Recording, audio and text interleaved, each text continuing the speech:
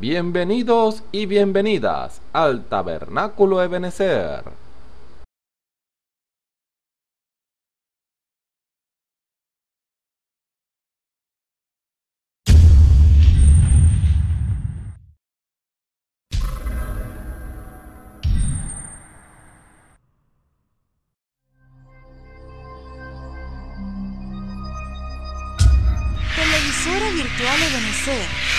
Señal que viene de Dios.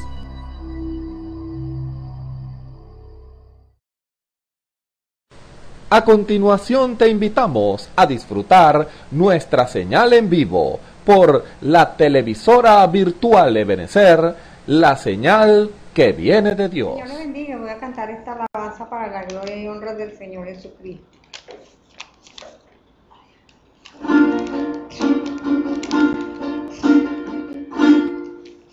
Tristeza y aflicción, Señor, hay en mi vida, dale consolación. A mi alma mientras viva,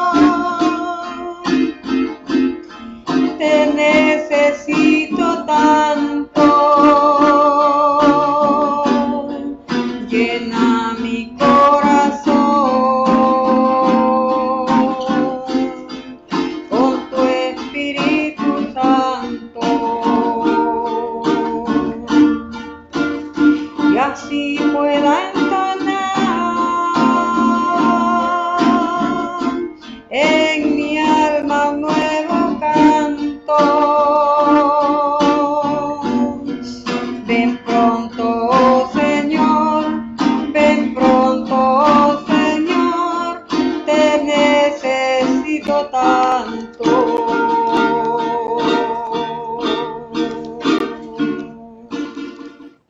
Dios le bendiga, hermanos y hermanas, reciban un cordial saludo en el nombre de nuestro Señor y Salvador Jesucristo. Una vez más, pudiendo compartir de la palabra del Señor lo que el Señor tiene para cada uno de nosotros, ese alimento espiritual a su debido tiempo.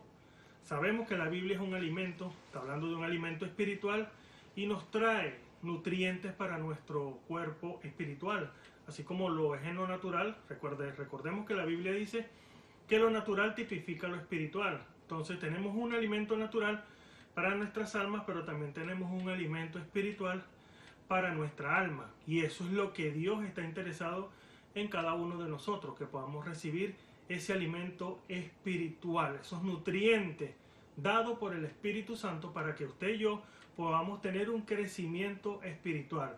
Porque la intención de, por lo menos un niño cuando está, eh, es, es alimentado de una manera natural, es para que él tenga nutrientes y pueda crecer fuerte y sano.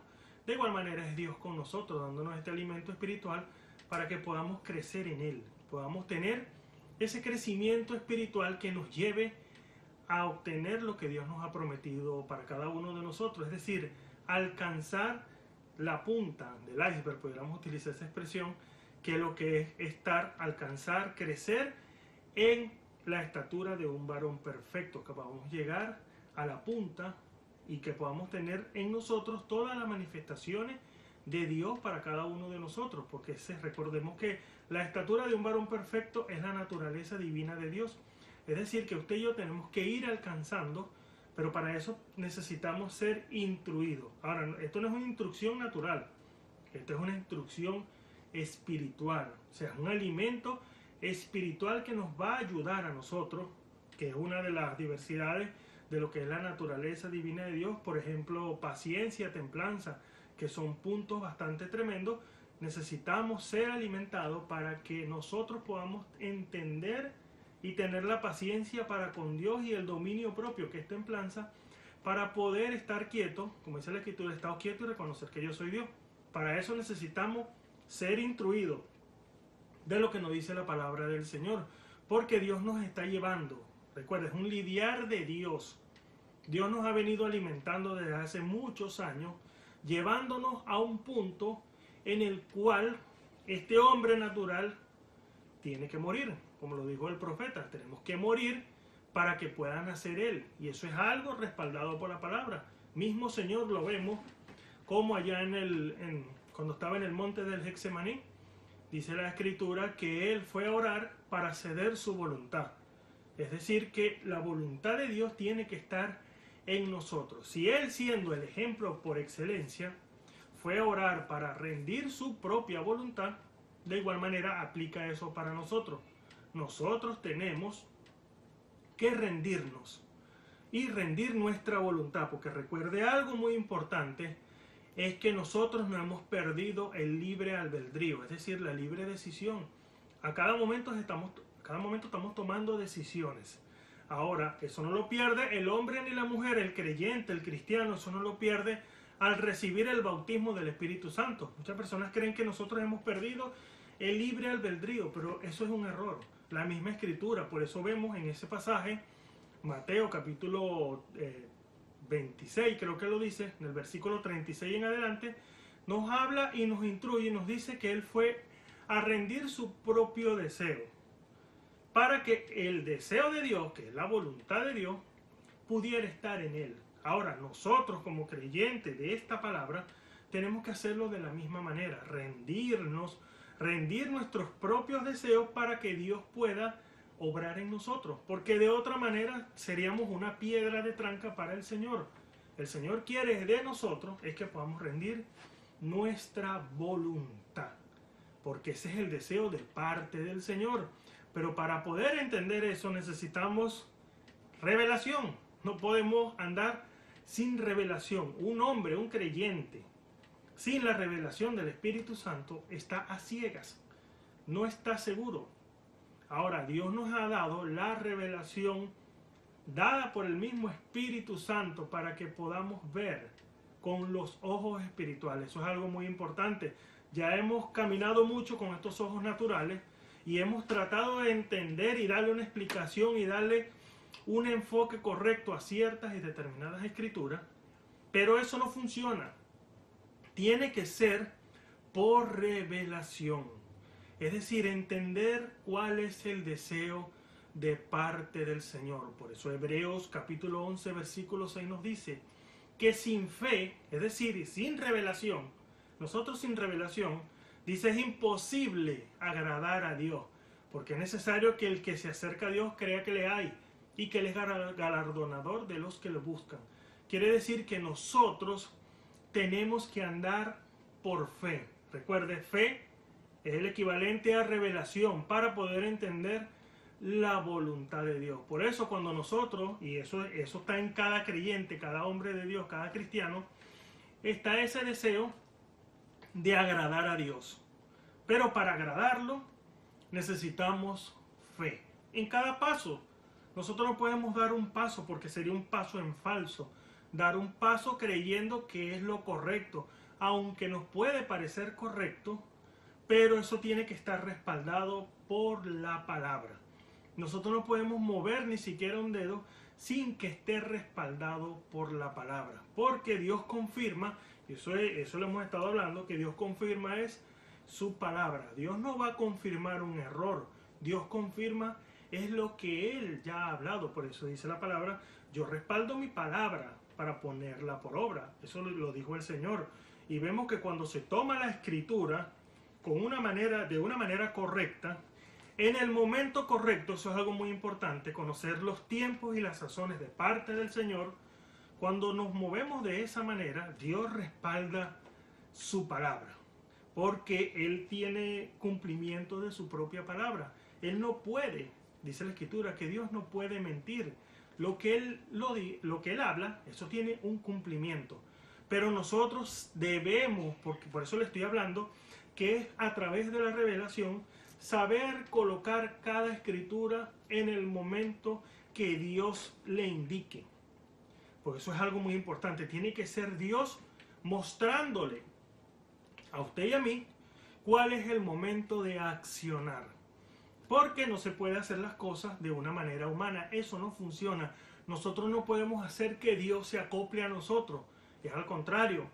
Nosotros tenemos que acoplar primeramente nuestra vida al Señor. Y el Señor se encarga de lo demás. Nosotros, y eso nosotros hemos escuchado esa frase por mucho tiempo de que Dios no necesita que nadie lo defiende.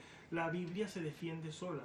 Y es una realidad. Nosotros simplemente tenemos que vivir conforme a este, a este libro, ¿ya? que es la palabra del Señor, que es Dios hecho en forma de letras, revelándose a nuestra vida. Por eso la semana pasada tocábamos este punto y quisiera hacer un pequeño, una pequeña introducción de este maravilloso tema que hablábamos la, siguiente, la semana pasada, que a quién se les daba la revelación de la palabra.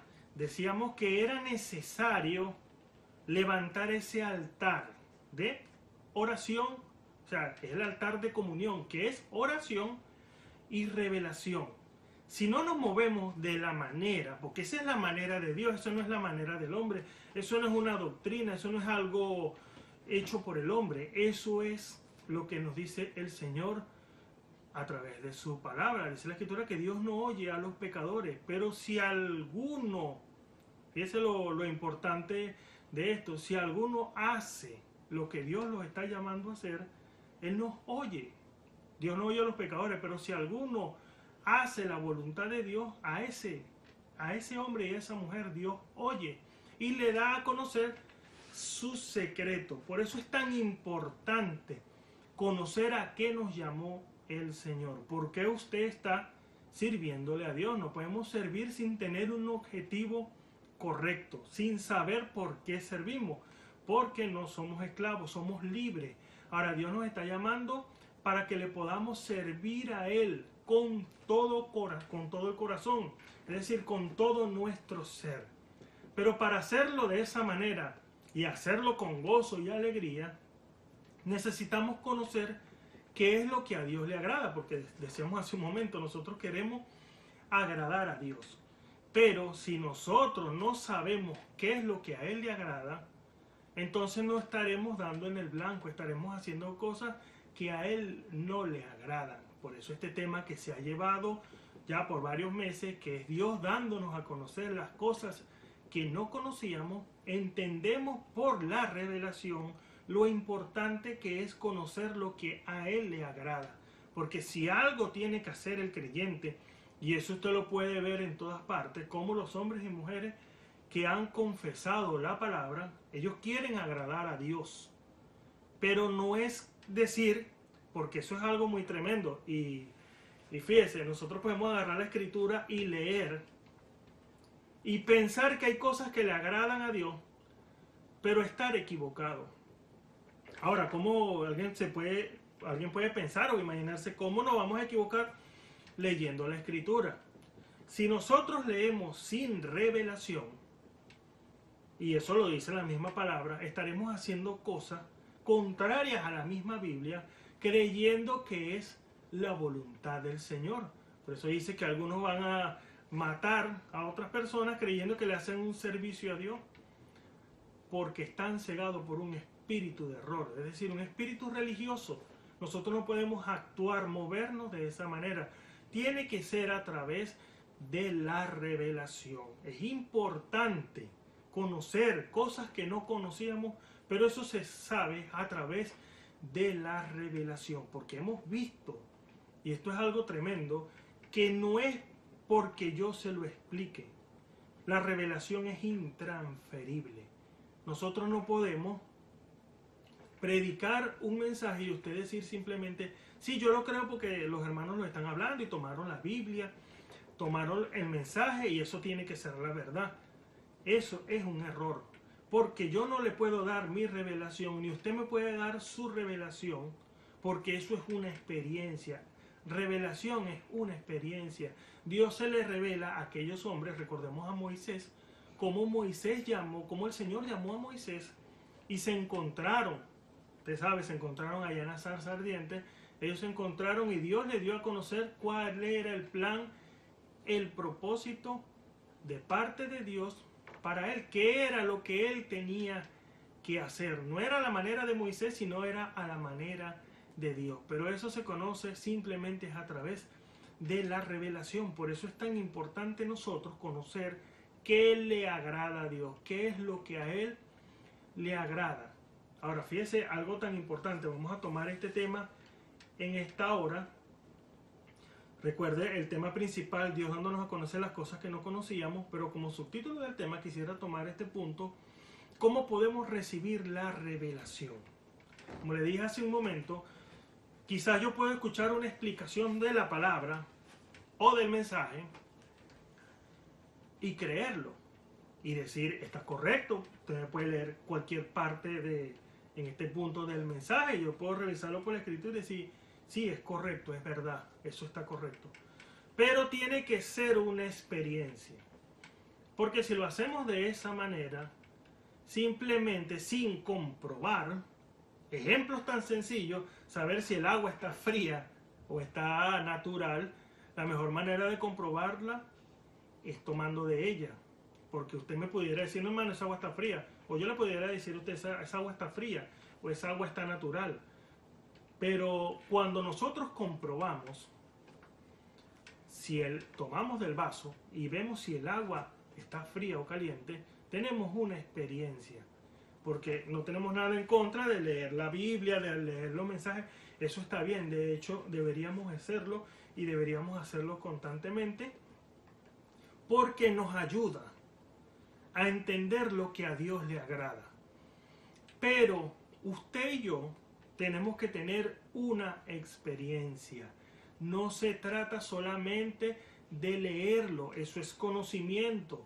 Eso sería simplemente teología. Teología es conocimiento. Pero cuando usted toma del vaso, usted puede entender qué es lo que a Dios le agrada. Por eso, eh, y este punto es muy importante, hablábamos la semana pasada de que si yo leo, y esto es algo muy tremendo, porque si yo leo el mensaje, pongo como punto el mensaje, si yo leo el mensaje, no está mal que yo lo compruebe por la Biblia. Eso no me hace a mí eh, dudar del mensaje. Al contrario, eso me hace tener una convicción real, genuina, de que Dios ha hablado. Porque si, yo le, si usted me está hablando, por ejemplo, de algún punto del mensaje y usted no lo puede comprobar por la Biblia porque simplemente ha leído y no se ha ido a revisar la base, que es la escritura, así esté correcto, hermano, usted no podrá hacer a otra persona que crea. Porque somos muy fáciles para decir, ese no tiene que ser del mensaje. Él no cree el mensaje. A veces es culpa de nosotros porque no sabemos colocar el mensaje. Es decir, no vamos a la fuente. Y la fuente es la palabra. No es como usted y yo tenga una experiencia real y genuina. No se trata, vuelvo y le repito, de que alguien, usted me esté escuchando o ministro que yo escuche la explicación del mensaje, no se trata solamente de eso, eso está bien. pero se trata de comprobarlo por la misma escritura. Y para comprobar eso tiene que ser a través de la revelación. Por eso vemos cosas que se han dejado, y eso lo hablábamos la semana pasada, como cosas no se están creyendo hoy cuando eso está en el mensaje, cuando eso está en la base, que es la escritura, que es lo de los dones y lo de los ministerios. ¿Por qué se pone eso a un lado? A veces tomamos escrituras, a veces tomamos expresiones del profeta fuera de contexto cuando vemos que la escritura es clara. Dice Hebreos 13:8, una escritura muy conocida por nosotros. Jesucristo es el mismo de ayer, de hoy y por los siglos. Él no dice la escritura, en él no hay mudanza. En otra parte dice, en él no hay mudanza ni sombra de variación. Quiere decir que Dios tiene una continuidad. Ahora, yo hacía una pregunta la semana pasada. ¿Dónde fueron abolidos los ministerios o los dones? Eso usted no lo va a conseguir en la Biblia, porque tiene una continuidad. Ahora nosotros hoy somos esa continuidad, porque hombres y mujeres sabemos que los dones, simplemente estoy haciendo un repaso de la semana pasada, los dones sin, sin, sin colocarlos correctamente, sin el orden correcto, están fuera de orden. Eso está bien. Pero cuando el hombre y la mujer han recibido el bautismo del Espíritu Santo, lo dice la Escritura que el Espíritu Santo es un guía. Él lo va a guiar a actuar de una manera correcta. Eso es lo importante que nosotros tenemos que saber hoy. Nosotros teniendo el Espíritu Santo, porque los dones, y eso lo hablábamos la semana pasada, los dones es el poder de Dios Ahora, si nosotros tenemos el Espíritu Santo, los dones van a efectuarse de una manera correcta. Ahora, no se trata de tener el Espíritu Santo en la carne o en el Espíritu, no. Se trata de tenerlo en el alma y ser guiado por el Espíritu Santo. Eso es el poder de Dios y, y claro, por supuesto, va a actuar de una manera correcta. Por eso la pregunta en esta hora, ¿cómo podemos recibir revelación? Hay una manera de recibir revelación porque usted puede recibir ciertas y determinadas revelaciones sin tener el Espíritu Santo. Eso es algo tremendo y eso lo dice la Biblia y lo vamos a estar leyendo más adelante como un hombre como Pedro recibió tremenda revelación de saber quién era el Señor. Usted sabe, ¿Quién dice los hombres que es el Hijo del Hombre? Y Pedro dijo, tú eres el Cristo, el Hijo del Dios viviente, pero aún no había bajado en ellos el Espíritu Santo. Pero cuando bajó el Espíritu Santo, él tuvo esa revelación, pero tuvo también, porque el Señor les dio a conocer, fíjense lo que dice eh, Mateo 28, 19, y por el mundo y bautízalos en el nombre del Padre y del Hijo y del Espíritu Santo. Pero Pedro cuando recibe el Espíritu Santo, en Hechos 2, y específicamente cuando esos hombres que estaban escuchando la predicación de Pedro y de los apóstoles, en el versículo 37 de Hechos capítulo 2, ellos hicieron esa pregunta. ¿Qué haremos, hermanos, varones hermanos, qué haremos? Y Pedro, lleno del Espíritu Santo, con revelación, dada por el Espíritu mismo, les dijo, arrepiéntanse y bautícese en el nombre de Jesucristo. No le dijo que se bautizaran en el nombre del Padre y del Hijo y del Espíritu Santo. No. Como había recibido el Espíritu Santo, la instrucción correcta la da el Espíritu Santo. Él le dijo, arrepentidos y bautícese en el nombre de Jesucristo. Porque para poder entender Mateo 28, 19, y eso, eh, nosotros que hemos conocido la palabra, hemos conocido por su gracia el mensaje de la hora, sabemos que Mateo 28, 19 está hablando de los títulos en el nombre del Padre, Padre no es Hijo, Hijo no es Hijo y Espíritu Santo no es nombre. Ninguno de esos tres son nombres. Pero Pedro por revelación, ahí sí entiende que es en el nombre de Jesucristo para perdón de los pecados y recibiréis el don del Espíritu Santo. Quiere decir que algo fundamental para el creyente es recibir el Espíritu Santo. El Espíritu Santo te guía a toda verdad. Eso lo dice la palabra del Señor. Pero es un guía.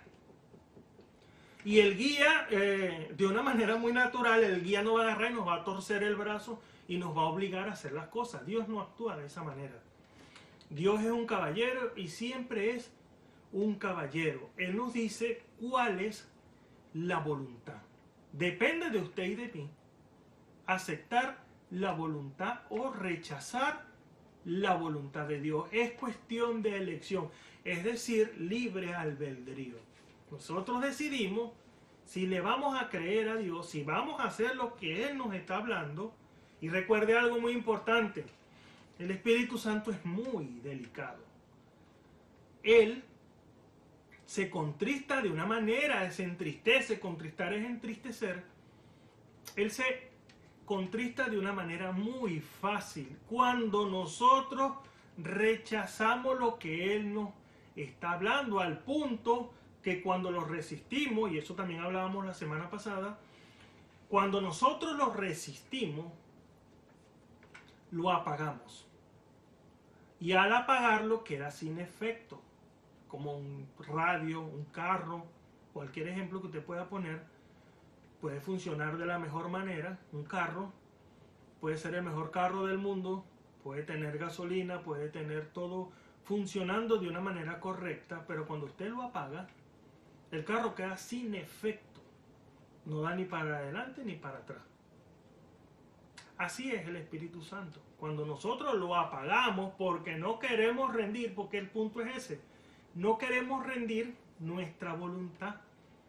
No queremos dejar que Dios sea el que hable, queremos dejar que Dios sea el que oiga, no queremos dejar que Dios sea el que dé los pasos correctos por causa de nosotros mismos, porque todavía no hay o no hay presencia del Espíritu Santo, porque recuerda que la Biblia, todo, toda la Biblia, le da vida es el mismo Espíritu Santo.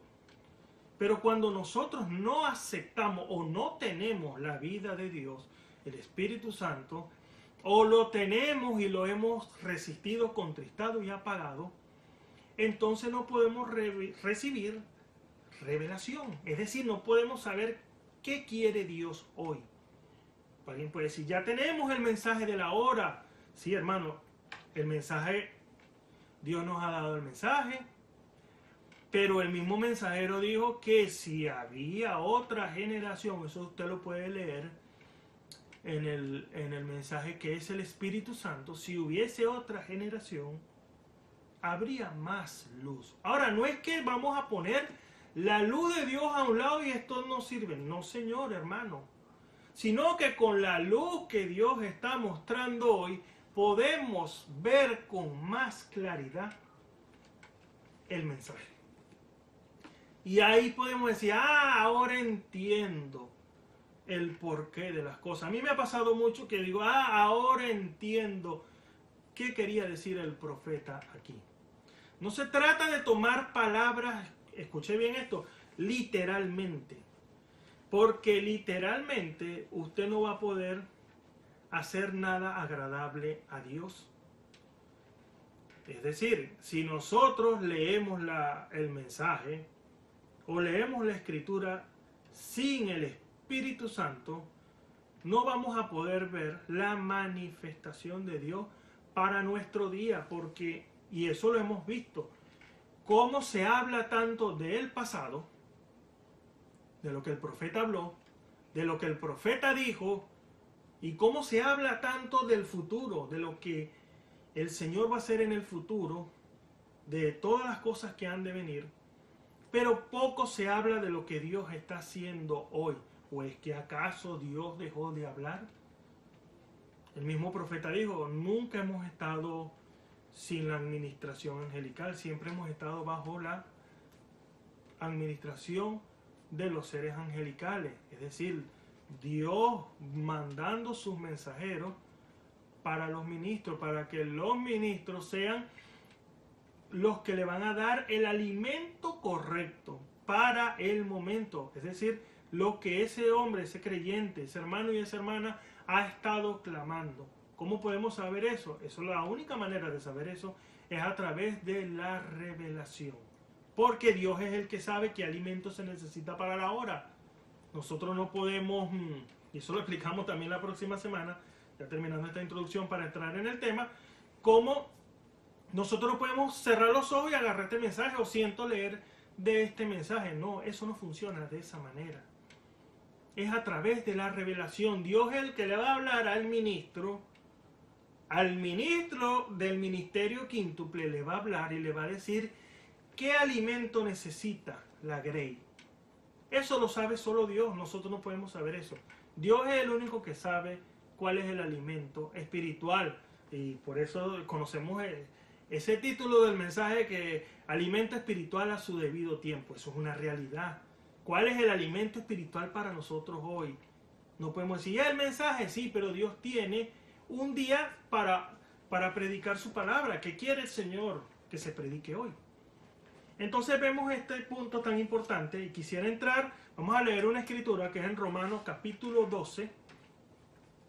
Vamos a leer ese capítulo porque es muy importante. Les recuerdo el título del tema, ¿cómo podemos recibir la revelación? Es una pregunta. ¿Cómo podemos recibir la revelación? Leemos en Romanos capítulo 12, en el versículo 1 en adelante. Dice así la palabra del Señor en el nombre de nuestro Señor y Salvador Jesucristo. Así que hermanos, os ruego por la misericordia de Dios que presentéis vuestros cuerpos en sacrificio vivo, santo, agradable a Dios, que es vuestro culto racional, vuestro culto inteligente. Y no os conforméis a este siglo, mas reformaos por la renovación de vuestro entendimiento, para que experimentéis, la otra versión dice, para que comprobéis cuál sea la buena voluntad de Dios, agradable y perfecta.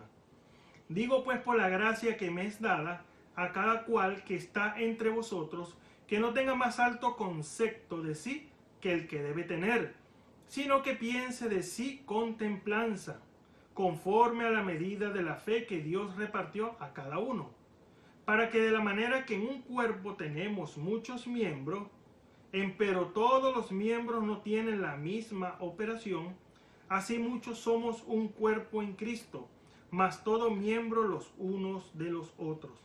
De manera que, teniendo diferentes dones, según la gracia que nos es dada, si el de profecía úsese conforme a la medida de la fe o si el de ministerio en servir, o el que enseña en doctrina, el que exhorta e, en exhortar, el que reparte hágalo en simplicidad, que el que preside con solicitud, el que hace misericordia con alegría, el amor sea sin fingimiento, aborreciendo lo malo, llegándonos a lo bueno Amados los unos a los otros con caridad fraternal, previniéndonos con honra los unos a los otros.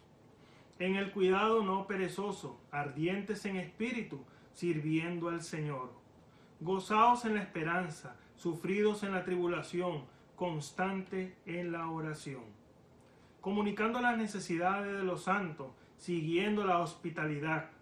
Bendecí a los que os persiguen bendecid y no maldigáis, gozaos con los que se gozan, llorad con los que lloran, unánime entre vosotros, no altivos, mas acomodándonos a lo humilde, a los humildes. No seáis sabios en vuestra propia opinión. No paguéis a nadie mal por mal. Procurad lo bueno delante de los hombres. Si se puede hacer, cuanto está en vosotros, tened paz con todos los hombres. No os vengáis vosotros mismos, amados míos, antes da lugar a la ira, porque escrito está, mía es la venganza, yo pagaré, dice el Señor.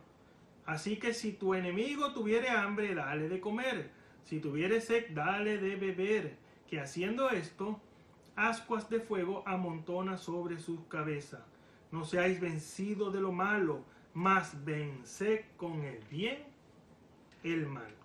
Que el Señor bendiga su palabra. Vamos a hacer una oración y así encomendarnos en las manos del Señor. Padre Celestial, en el nombre de nuestro Señor Jesucristo, te damos la gloria, la honra y la alabanza, Señor. Padre Celestial, te pedimos en esta hora, acercándonos a ti, Señor, con un corazón humilde, Padre Celestial, pidiéndote, Señor, que tú nos abras las escrituras, Padre amado, nos deja conocer, Padre Celestial, cuál sea tu buena voluntad, Señor, agradable y perfecta, Padre amado, porque no podemos, Padre Celestial, saber lo que a ti te agrada si no es a través de la revelación, Padre Celestial. Ayúdanos, Señor, a entender qué es lo que tú quieres, Padre Celestial, para nosotros en este día, Señor. Ábrenos las escrituras, Padre amado, y que podamos entender, Señor, a través de la revelación por el Espíritu Santo, Señor, lo que tú tienes para cada uno de nosotros, lo que deberíamos estar haciendo, Padre Celestial, que es lo que a ti te agrada, Señor, colocándonos, Señor, en el cuerpo, Padre Celestial, en el lugar específico para el cual nosotros fuimos creados, Señor. Ayúdanos, Señor, y Padre Celestial, pon Padre Celestial en nuestro corazón ese oído espiritual, Señor, para poder escuchar de ti, Padre Celestial, la administración, Señor, que tú tienes para cada uno de nosotros, Padre amado, y que no seamos oidores olvidadizos, Señor, sino más bien hacedores de tu palabra, Señor, de lo que aquí tú nos hables, Padre amado, lo podamos poner por obra, Padre Celestial, porque eso es agradable a ti, Padre amado. Señor, Padre Celestial, Ayuda a cada hermano y hermana que escuche este culto y que lo ha de ver, Padre Celestial, que sea de beneficio para su vida, Padre Celestial, y que podamos verte a ti, Padre amado, moviéndote, Padre Celestial, en medio nuestro, Señor, en este mundo tan oscuro que está, en esta parte de la historia tan oscura, Padre Celestial, en este punto, Padre amado, de la Odisea tan oscura que está, Padre Celestial, nosotros podamos ver y nosotros podamos ser luz, Señor para los demás, Padre Celestial, para que vean que todavía hay hijos de Dios sobre la tierra, Padre amado. Ayúdanos, Señor, Padre amado, y danos, Padre Celestial, el oír por tu buena voluntad. En el nombre de nuestro Señor Jesucristo te pedimos todas estas cosas y te damos las gracias, Señor. Amén y amén. Bien, le repito el título del tema. ¿Cómo podemos recibir la revelación? En la introducción estuvimos hablando de un punto muy importante. Solamente es a través del Espíritu Santo. Porque podemos recibir revelación de ciertas cosas aún sin el Espíritu Santo. Pero ¿a qué nos puede o qué nos puede ayudar eso si no tenemos el Espíritu Santo? Es como lo dice eh, 1 Corintios 13 que habla sobre, sobre los dones. Dice, si yo no tengo amor, pero tengo lengua, tengo interpretación, si no tengo amor, que es el Espíritu Santo, nada soy. Pero, fíjese algo, antes de volver aquí quisiera leer estos primeros versículos. Dice, si yo hablase, esto es 1 Corintios 12, versículo 13, 1 Corintios 13, perdón, capítulo 13, en el versículo 1, dice, si yo hablase lenguas humanas, angélicas, y no tengo caridad, que es amor, vengo a ser como metal que resuena y címbalo que retiñe. Y ahí empieza a hablar, si yo tengo profecía y entenderse todo lo misterio y toda la ciencia, y si tuviere toda la fe, es decir, la revelación, de tal manera que traspasase los montes y no tengo caridad, que es amor, nada soy. Pero la pregunta es, ¿y si tengo amor, si tengo el Espíritu Santo, ¿cuál sería el accionar de la lengua, de la interpretación, de las profecías, de los sueños y de, los dones de sanidad, del don de milagro y todos los dones que habla la Escritura, donde de interpretación, todos esos dones que habla la palabra del Señor, ¿cuál sería el accionar de ellos si tengo el amor? Vemos que sería guiado por el Espíritu Santo quiere decir que el accionar sería un accionar agradable a Dios. Leamos la semana pasada en el libro de, las edades como un hombre como Martín Lutero tenía los nueve dones del Espíritu. En él se manifestó eso. ¿Qué de nosotros? ¿O es que acaso los dones y los ministerios están en el pasado? O sea, como hablamos la semana pasada, nosotros hemos recibido revelación de Dios y Él nos ha dicho que eso quedó en el pasado, que ya tenemos lo que es perfecto, porque lo dice ahí 1 Corintios 13, y lo que es en parte será quitado, dice la Biblia. Pero, mano, ¿cuándo nos fue dado los dones en parte para ser quitado?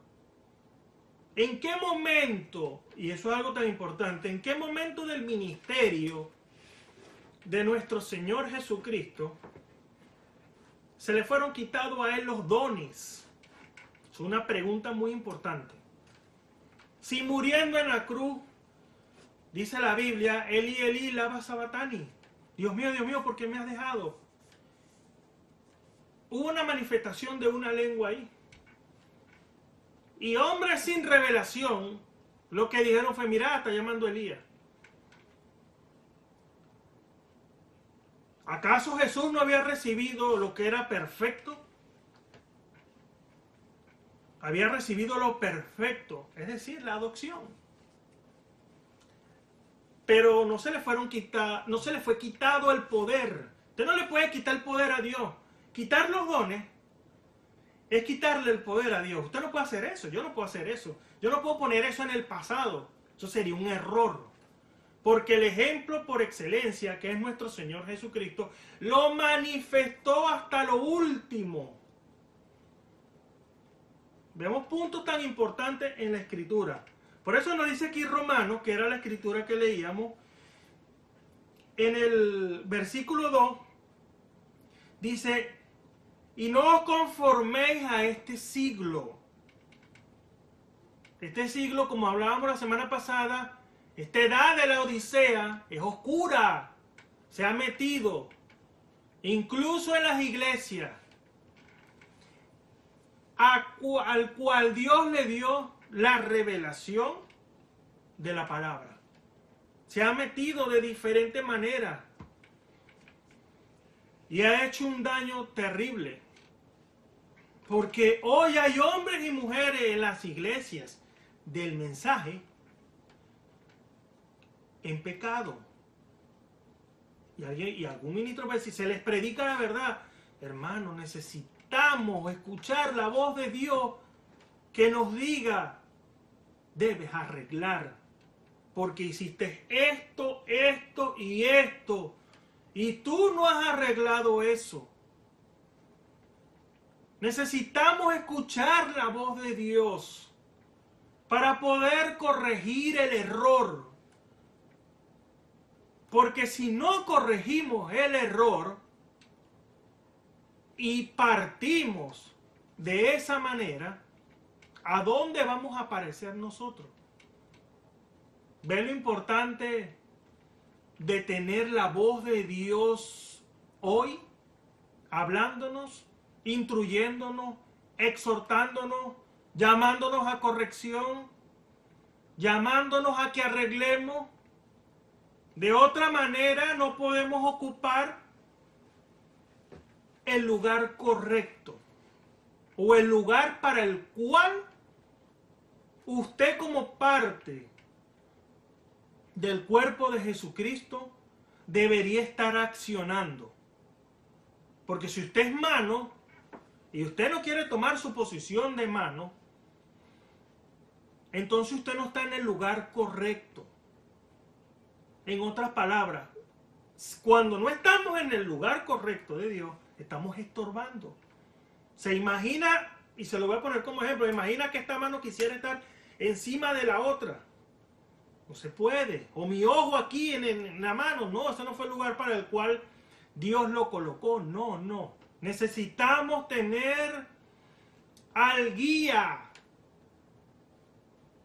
pero escuchando el guía. Así como le pasó al apóstol Pablo. Tanto resistir al Espíritu Santo hasta que Dios se le apareció. Y él pudo ver al Señor, tuvo esa experiencia con el mismo Señor. Y su vida fue cambiada. En nosotros o nosotros necesitamos ese encuentro. La experiencia de un cristiano no se basa en asistir a la iglesia, cantar, orar, leer, escuchar un sermón. Eso es parte de eso. Pero su experiencia genuina con Dios es el encuentro, ese encuentro con su creador. Y la única manera de tener ese encuentro es arreglando nuestras vidas. Es poniendo todo en su lugar.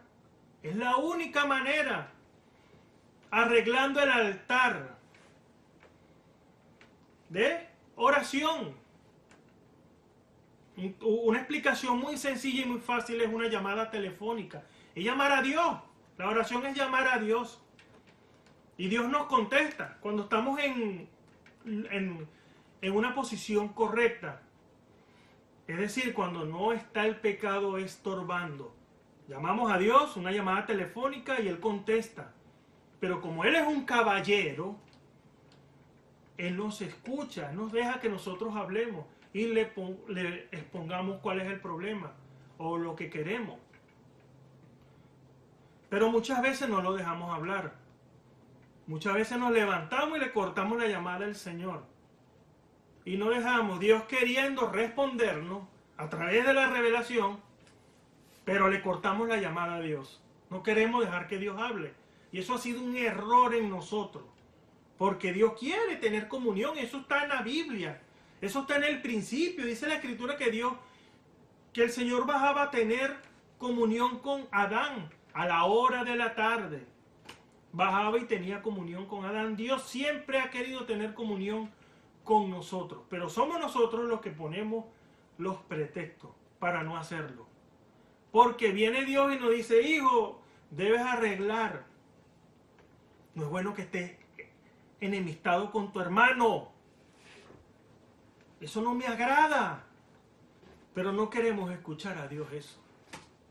Queremos seguir hablando del pasado y del futuro. No, hermano.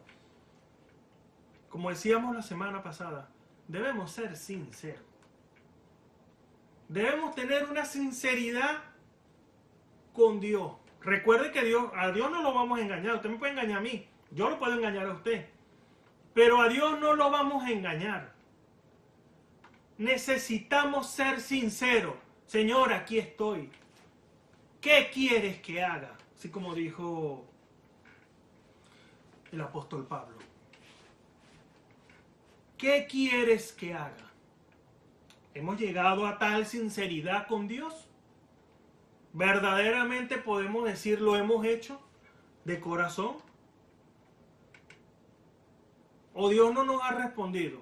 ¿O nos hemos levantado antes para escuchar la voz de Dios? ¿O hemos escuchado, lo que es peor, hemos escuchado la exhortación de parte de Dios y no la aceptamos? No, eso no, eso de Dios. A veces pudiéramos pensar de esa manera. No, no, no, eso no, no me convence. ¿Qué es lo que nos convence? Sino la escritura. Y la escritura nos llama a una reconciliación. ¿Qué es lo que nos convence a nosotros entonces? Hemos sido llamados ministros de paz o de problemas. Por eso le estoy diciendo, ¿a qué estamos llevando el pueblo? A los que han a los que no han nacido al nuevo nacimiento, a los que han nacido a un crecimiento espiritual? ¿O acaso nosotros creemos que porque una persona haya recibido el bautismo del Espíritu Santo ya tiene el carácter de Jesucristo? ¿Acaso hemos creído eso? Y déjeme decirle algo más. ¿Acaso hemos sido engañados con eso? Creyendo que una persona que ha recibido el bautismo y lo vuelvo a explicar, del Espíritu Santo, ¿tiene el carácter de Jesucristo? No. Por eso, cuando una persona recibe el bautismo, cumple la palabra, Hechos 2.38, se arrepiente y se bautiza y Dios le da el Espíritu Santo, eso es un nacimiento, ese niño necesita ser instruido, necesita ser alimentado, necesita formar un carácter en él. Por eso cuando hablamos de la estatura de un varón perfecto, muchas personas creen que, la, que va a recibir el Espíritu Santo allá arriba. Antes de la piedra de, corona. Muchas personas creen que aunque aquí dice Espíritu Santo, ahí es donde va a recibir el Espíritu Santo, cuando eso es un error. El Espíritu Santo se recibe en la base, porque esto es la naturaleza divina de Dios, divina de Dios. Humanamente nosotros no podemos manifestar esto. Eso no se puede humanamente. Hay una fe natural, una virtud natural, ciencia natural, todo natural, pero esto es la naturaleza divina de Dios. Y eso lo dice, hermano, pero ¿cómo, cómo te está hablando eso? Eso lo dice la Biblia. Yo no lo tenía anotado, pero Dios sabe por qué hace las cosas. Eso lo dice el apóstol Pedro.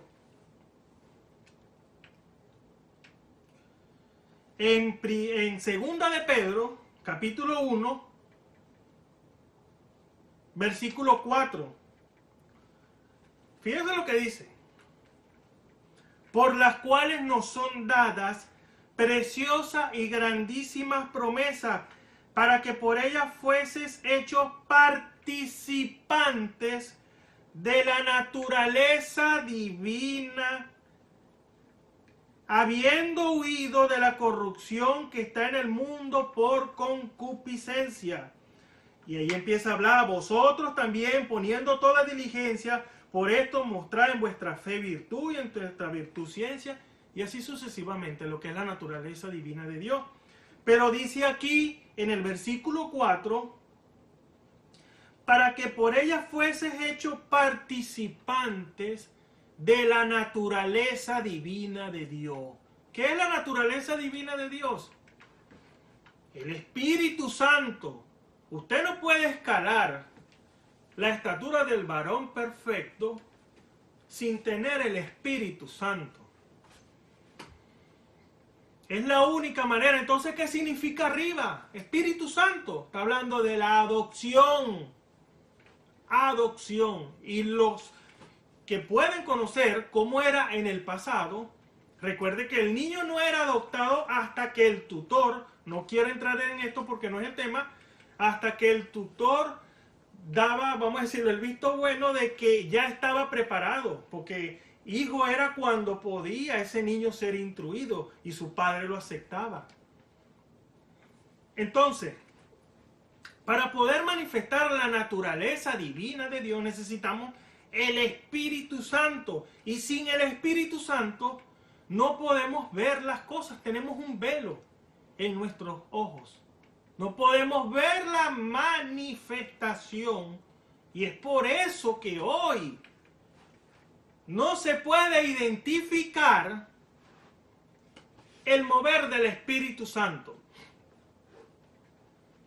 Por causa de que no se tiene revelación. Por causa de que no se ha recibido el Espíritu Santo. O como le dije hace un momento, lo que es peor, se ha resistido, contristado y apagado. Lo ha dejado sin efecto. Eso es peor todavía porque ahora debe corregir el error. Si en nosotros hay sinceridad, nosotros vamos a recibir la revelación de parte de Dios para entender en dónde fallamos y arreglar lo que hemos hecho mal y arreglar con quien hemos cometido el error para que el Espíritu Santo ya no esté triste. Por eso leíamos aquí en el versículo 2 de Romanos capítulo 12, donde dice, y no os conforméis a este siglo de oscuridad, porque es un, es un momento de la historia muy oscura, mas reformados por la renovación de vuestro entendimiento para que experimentéis experiencia, comprobar cuál sea la buena voluntad de Dios agradable y perfecta ¿A través de qué? Del Espíritu Santo. Es un guía y el guía nos va a llevar a toda verdad. Por eso un hombre como, y se lo hablábamos en la introducción, un hombre como el apóstol Pedro, Y el Señor lo elogia a él por haber recibido tremenda revelación de quién era él. Y él le preguntó, vamos a leer en, en nuestras Biblias, Mateo capítulo 16, en el versículo 13 en adelante. Vamos a leerlo hasta el versículo 23. Mateo capítulo 16, en el versículo 13 en adelante. Permiso.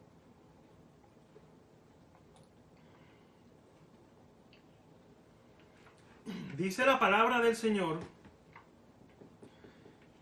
Y viniendo Jesús a las partes de Cesarea de Filipo, preguntó a sus discípulos diciendo, ¿quién dice los hombres que es el Hijo del Hombre?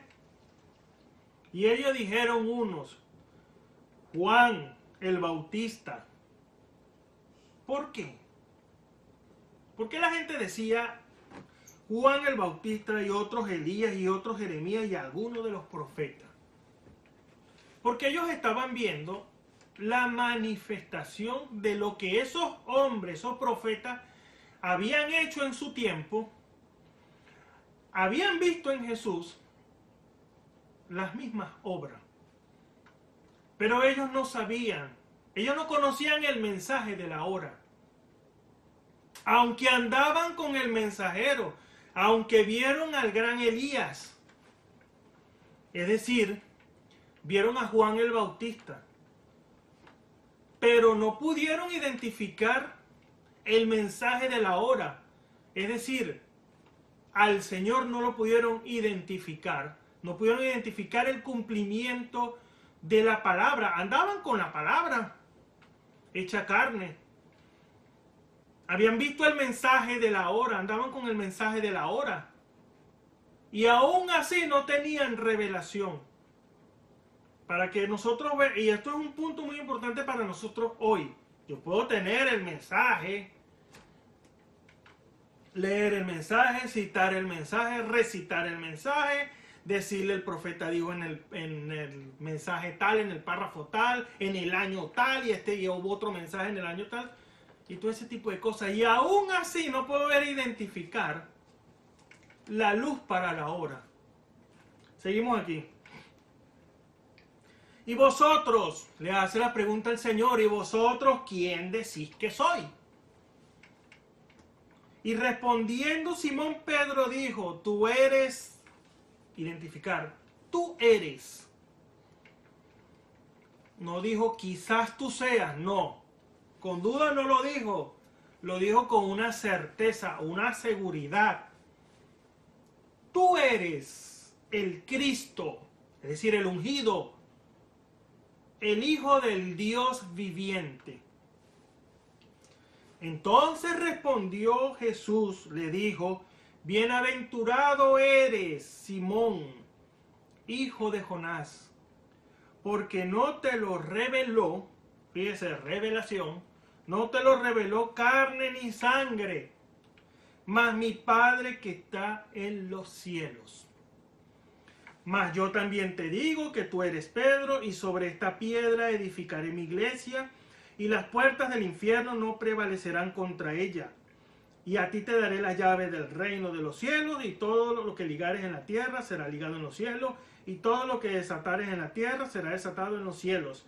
Entonces mandó a sus discípulos que a nadie dijese que él era Jesús el Cristo. Desde aquel tiempo comenzó Jesús a declarar a sus discípulos que le convenía ir a Jerusalén a padecer mucho de los ancianos y de los príncipes de los sacerdotes y de los escribas y ser muerto y resucitar al tercer día. Fíjese a dónde lo está llevando el Señor. ¿Qué le está diciendo el Señor? A, los está llevando a lo que hablaban las escrituras. Porque las escrituras daban testimonio de Jesús. Por eso aquí dice en el versículo 22, fíjese, después de, tener tremenda revelación, que fue la que Pedro recibió de Dios, aún sin el Espíritu Santo, fíjense lo que dice en el versículo 22. Y Pedro tomando aparte, comenzó a reprenderle diciendo, Señor, ten misericordia, ten compasión de ti. En ninguna manera esto te acontezca. Entonces él volviéndose dijo a Pedro, quítate de delante de mí, Satanás, porque me eres escándalo, porque no entiendes lo que es de Dios, sino lo que es de los hombres. Después de recibir tremenda revelación, de poder identificar al Señor en las escrituras, Isaías 53 hablaba de él, Isaías capítulo 7, versículo 14, Isaías capítulo 9, versículo 16, los salmos, todos hablaban del Señor. Ahora aquí vemos que le presta o se presta para una revelación falsa. Porque le está diciendo que nada de esto te acontezca. Eso hubiese sido un quebrantamiento abierto a la palabra. Tenía que cumplirse. Podemos recibir revelación, sí. Pero cosa diferente es cuando usted recibe el Espíritu Santo y el Espíritu Santo le da revelación. Hay una diferencia. Usted no va a equivocarse, usted no va a errar, usted no se va a equivocar. Como dice la escritura, yerran ignorando las escrituras. No, usted no se va a equivocar porque la base, la base, el fundamento, la base de la revelación tiene que ser el Espíritu Santo. Entonces por eso aquí este hombre, un hombre con un don tan tremendo, Dios le habla, puede identificar al Señor en las escrituras, pero aquí se presta para Satanás para traer una revelación equivocada. Ahora nosotros hoy, por eso la importancia del tema, cómo podemos recibir la revelación. Eso es algo muy importante. Porque no se trata de agarrar un mensaje y leerlo. Ya esto lo hemos dicho muchas veces. No se trata de agarrar un mensaje y leerlo. La revelación, hermano y hermana, es intransferible. Eso no se puede transferir. Usted no puede recibir revelación escuchándome a mí. Te ayuda, ¿cómo no? Usted no va a recibir revelación porque usted lea textualmente los mensajes. No, te ayudan. Usted tiene que comprobar, y mucha gente tropieza con esto, porque usted debe comprobar que lo que el profeta de la edad habló está en la escritura. Eso no nos hace dudar de la palabra, déjeme decirle. Eso nos hace a nosotros entender por revelación la misma palabra. Porque un hombre como Gedeón, conocemos la historia de Gedeón, Dios se le aparece, el mismo Dios se le aparece a Gedeón y le dice, ve con esta tu fuerza a liberar el pueblo de los madianitas. Pero vemos a un Gedeón buscando confirmación. Eso pasó en tres ocasiones. Recordemos el, cuando puso el vellón allá, que tenía que estar el rocío sobre el vellón. Y después que no tenía que estar en el vellón, sino en el vaso. Él buscó confirmación y fue el mismo Señor que se le apareció porque, porque dice, he de morir porque he visto a, Jehová. No, no morirás, le dice el Señor. Ahora, buscar confirmación. Y en otra ocasión, unos, un sueño de otros que estaban ahí, unos soldados. Para Gedeón fue la confirmación. Por eso le dije tres, en tres ocasiones. Nosotros tenemos que buscar confirmación, porque es muy fácil que yo agarre y le lea aquí el mensaje y le diga, esa es la revelación, hermano. Usted tiene que creer la revelación. De cierta manera sí, pero usted tiene que confirmarlo por la escritura, porque el profeta de esta edad no habló nada fuera de la palabra, déjeme decirle. Pero a veces nosotros lo que hacemos es repetir, repetir y repetir. Y cuando se nos es probado, y muchas veces pasa que un hermano denominacional nos dice, hermano, pruébemelo por la escritura. Y lo tildamos de, incrédulo y que no cree el mensaje y que eso no debe ser la novia.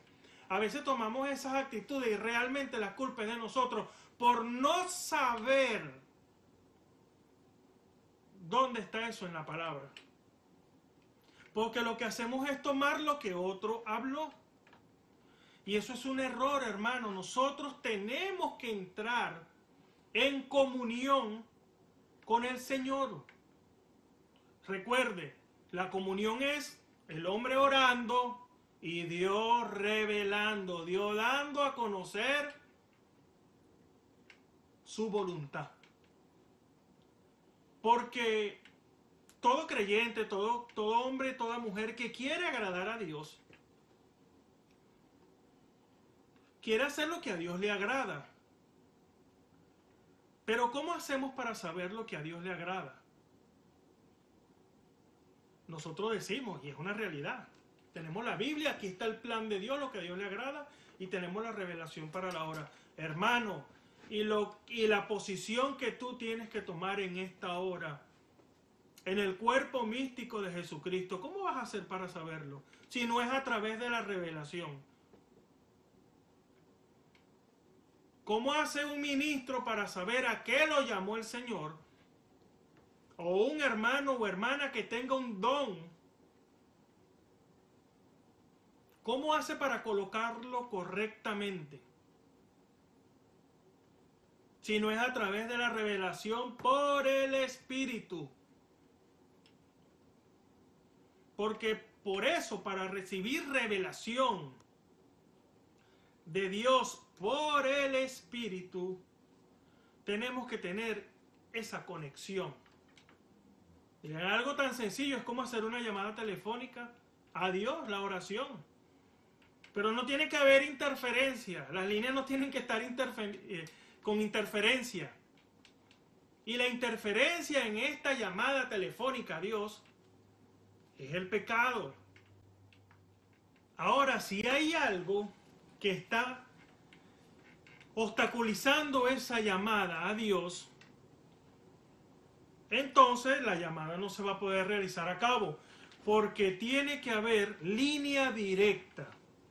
Si el pecado está interrumpiendo esa llamada, entonces la, la llamada no va a llegar a Dios. Ahora, cuando el corazón, como dice la escritura, si nuestro corazón no nos reprende, confianza tenemos en Dios. Ahora, si la llamada está llegando correctamente, aún así Dios contesta, pero Dios espera que usted hable. Recuerde, Él es un caballero. Él espera que usted y yo le hablemos. Y Él va a contestar pero en su momento. Porque Dios habla a través del Espíritu Santo. Por eso no se trata solamente de tomar la, la palabra o tomar los mensajes y hablarlo. Y ya yo tengo revelación porque yo he creído que Dios envió un profeta. Eso está bien, hermano, que usted crea que Dios envió un profeta para esta edad pero tiene que ser confirmado por la palabra a su vida. Porque usted podrá decir, ya fue confirmado, pero a su vida, hermano y hermana. Estemos ciertos de Dios, como un mensaje que él predicó. Tenemos que estar ciertos. Por eso cuando somos enfrentados por otro hermano que no cree como nosotros, si vemos que no cree como nosotros, lo tildamos de una vez. No, no, ese no es de la novia. Eso no. Porque si fuera de la novia, porque así arreglamos las cosas. Si fuera de la novia, aceptara la revelación para la hora. Pero muchas veces, hermano, es culpa de usted y de mí. Por no saber explicar la palabra. Por no saber colocar lo que el profeta dijo. Porque como lo que hacemos es agarrar el folleto y leerlo para diestra y a siniestra, y no sabemos ni siquiera dónde está eso en la escritura, obviamente otra persona va a decir, no, eso, usted ni sabe lo que está diciendo. Y muchas veces tienen razón, hermano, porque usted necesita presentar es aquel a quien le va a dar la vida. Y ese es Jesucristo. No es el profeta, es Jesucristo. La gente quiere escuchar a Jesucristo. La gente, la gente va a buscar es en la Biblia. Y si usted no sabe colocarlo en la Biblia, ¿cómo le va a leer un mensaje? ¿Cómo le va a mm, evangelizar con un mensaje? No. Jesucristo es quien le va a dar a esa persona la revelación. No es la manera como usted le explica, o como yo la puedo explicar, o como cualquiera la puede explicar. Es Jesucristo el que le va a abrir la palabra. Por eso vemos a Pedro aquí con tremenda revelación, identificando quién era Jesús. Pero vemos aquí también que por causa de no tener el Espíritu Santo, porque la cosa es que si Pedro no hubiese recibido el Espíritu Santo, recuerde lo que dice una escritura que nosotros manejamos mucho, Mateo 28, 19. Le dijo el Señor, Mateo 28, 18, vamos a leer. Y llegando Jesús le dijo, le habló diciendo, toda potestad me es dada en el cielo y en la tierra. Por tanto, y doctrinar a todos los gentiles, bautizándolos en el nombre del Padre, del Hijo y del Espíritu Santo. Si Pedro, imagínense esto, si Pedro no hubiese recibido el Espíritu Santo en Hechos capítulo 2, Pedro no hubiese entendido la revelación. Porque quien le da a Pedro la revelación de Mateo 28, 19 es el Espíritu Santo. Por eso Pedro cuando les está predicando a aquellos hombres, ellos fueron compungidos, dice la Biblia, de corazón. O sea, fueron tocados por el Espíritu Santo en su corazón. y hicieron la pregunta, varones hermanos, ¿qué haremos? Y Pedro, dice la escritura, lleno del Espíritu Santo, le dijo, arrepentido y bautícese cada uno de vosotros en el nombre de Jesucristo para perdón de los pecados y recibiréis el don del Espíritu Santo, porque para vosotros es la promesa, para vuestros hijos, para los que están lejos, para cuanto el Señor vuestro Dios llamare. Y la confirmación de esa palabra Dice la escritura que recibieron al Señor como tres mil almas. ¿Por qué? Porque Dios confirma su palabra. Por eso usted no ve en la escritura, usted no ve en la palabra a nadie que fue bautizado en el nombre del Padre, del Hijo ni del Espíritu Santo. No. Lo llevó al centro, a la escritura, a lo que le iba a dar vida, que era el bautismo del Espíritu Santo. Pero Hechos capítulo 2, versículo 1 nos da una clave muy importante porque dice y como se cumplieron los días de Pentecostés, estaban todos unánimes, juntos. La pregunta sería, ¿nosotros estamos unánimes juntos? Y no estoy hablando de cierta iglesia solamente. Estamos hablando del cuerpo místico de Jesucristo que está esparcido por todo el mundo. ¿Tendremos nosotros todas las cosas en común. Estaremos todos unánimes juntos. Cuando no nos podemos ni siquiera ver como hermanos que somos. Porque déjeme decirle algo. Si usted es parte del cuerpo, usted me dice a mí que no cree como yo. que usted es parte del cuerpo de Jesucristo, yo le creo. Yo no tengo por qué dudar eso. Ahora, ¿me creería a mí si yo le digo lo mismo? Que yo soy parte del cuerpo de nuestro Señor Jesucristo. Ahora, si usted me cree y no estamos juntos, unánimes, ¿cómo vamos a llegar nosotros a perfección? No podemos, hermano. Hay algo que nos separa. Hay esa palabra, eh, esa expresión de la Biblia que dice estamos en desavenencia, en desacuerdo. Los apóstoles no podían estar en desacuerdo, no hubiese bajado el Espíritu Santo. Tenían que estar unánimes juntos para que pudiera bajar el Espíritu Santo, que era el que los iba a llevar a toda verdad. Los dones, las operaciones iban a ser un efecto correcto. Quiere decir que es necesario el Espíritu Santo.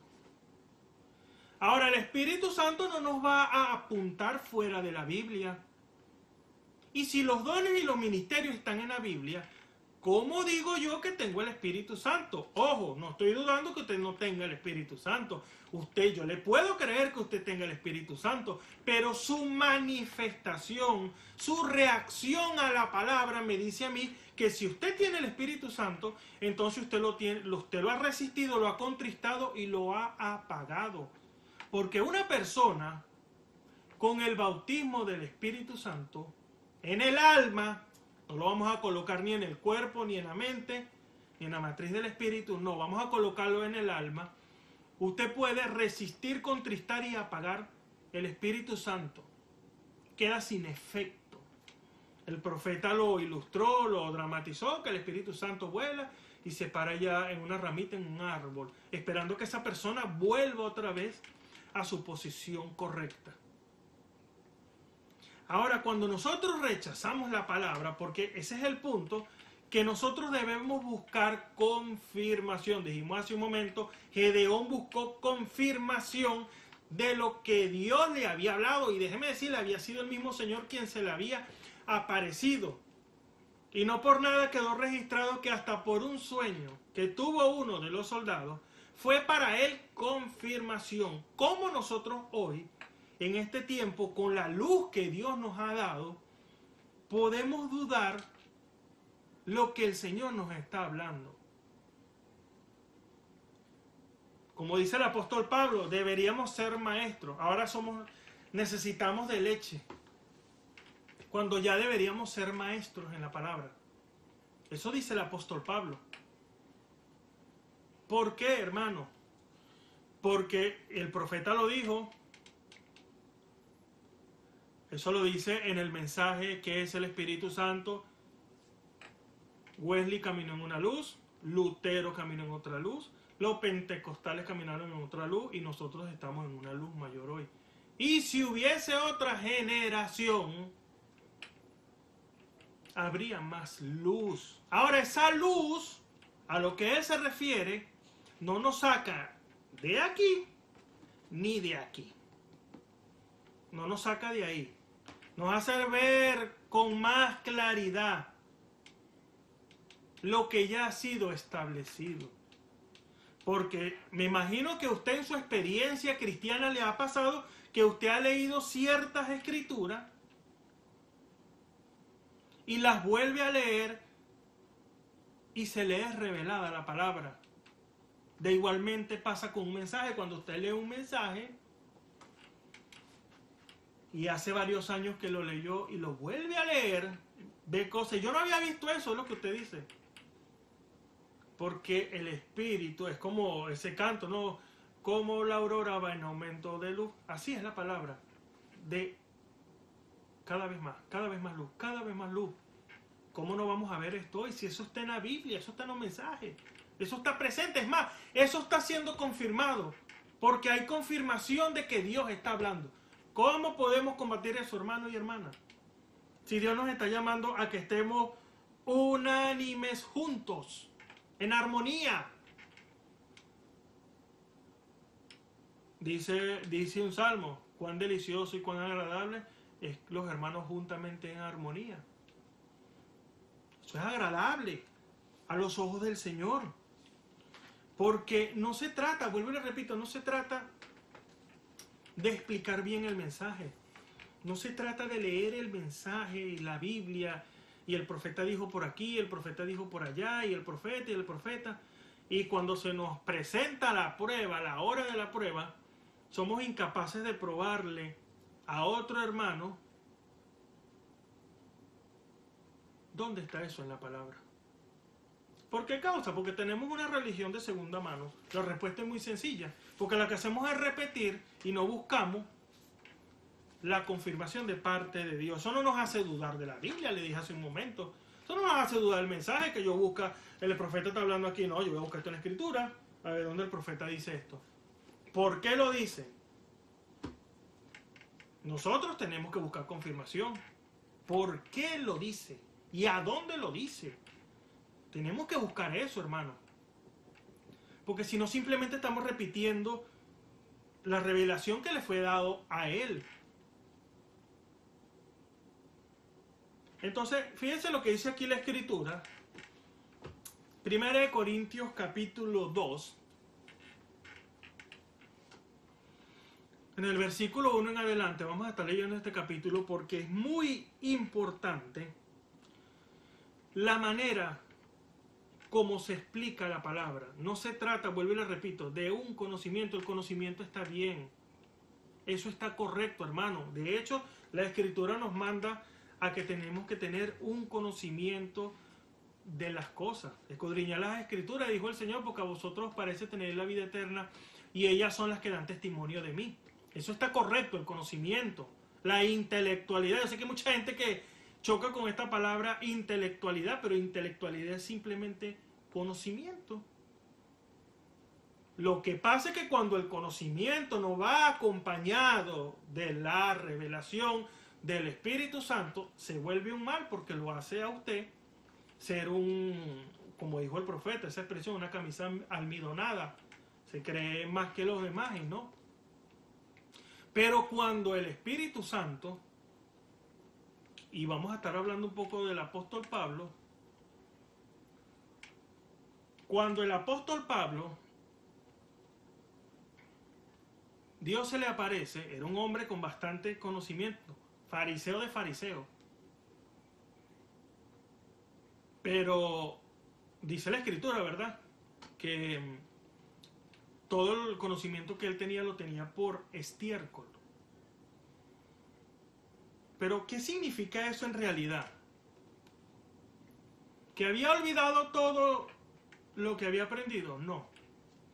Eso lo hizo a él hacer una reflexión y revisar nuevamente las escrituras, porque el conocimiento que él tenía era sin el Espíritu Santo.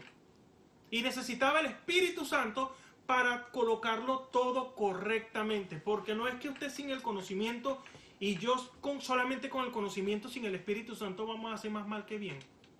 Por eso dice aquí, dijimos, 1 de Corintios capítulo 2 en el versículo 1 en adelante. Así que hermanos, cuando fui a vosotros no fui con altivez de palabra o de sabiduría anunciaros el testimonio de Cristo. No era un sábelo todo no era solamente decir y leer esto por aquí, esto por allá, o como, como se ha tomado tanto eso hoy, el profeta dice por aquí y por allá. Pero a la hora de llevar al hombre y a la mujer a un crecimiento espiritual, a llevarlo a lo que Dios está haciendo hoy, ahí se falla. Porque la pregunta es, ¿a quién, hermano, ¿a qué lo está llevando Dios hoy? No, es que viene un rato. Hermano, ¿qué está haciendo? El rato viene, ¿cómo no? Eso amén. Sí, que nos, viene la transformación. Sí, hermano, eso está bien. Pero verdaderamente estaremos preparados. Nuestro vaso estará limpio, total y absolutamente. Una de las razones para las cual Dios ha enviado estos dones a la iglesia hoy, hermano, es para descubrir lo que está oculto en el corazón porque ¿quién conoce el corazón si no solo Dios? Y viene Dios y revela lo que está en el corazón. Y tú hiciste esto y tienes que arreglar esto porque esto te está impidiendo, estás en pecado, debes arreglar eso. Y eso la persona sabe que es la verdad. ¿Cómo vamos a decir que eso no es de Dios? Si hay una confirmación y la misma persona confirma que sí es así. Eso es verdad, hermano, lo que ese mensaje que fue dado. Eso es para ayudarnos.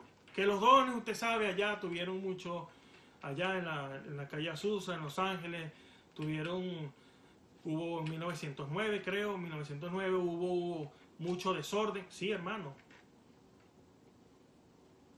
Pero nosotros, con la luz de la palabra que tenemos hoy,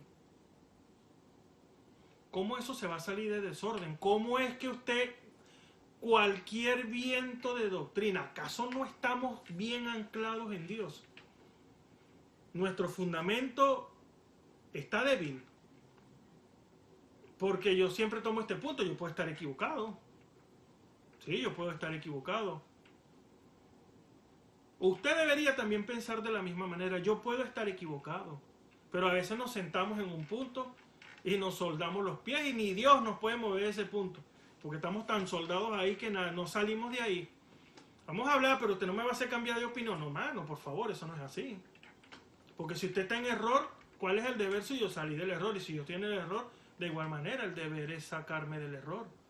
¿Cómo es que nos vamos a poner a tomar esa actitud, una actitud malcriada, cuando Dios nos quiere unir alrededor de la palabra?